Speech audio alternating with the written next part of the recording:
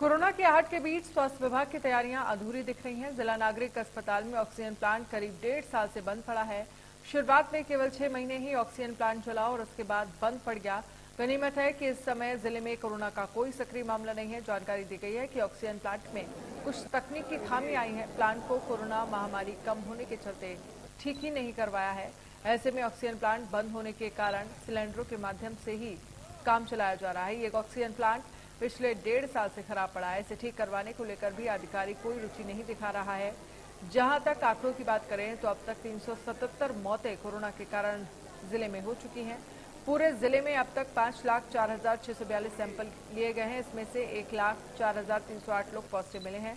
ज़िले में सोमवार को कुल एक सौ अठारह सैंपल लिए गए। अभी तक तीन लोगों के सैंपल की रिपोर्ट पेंडिंग में है।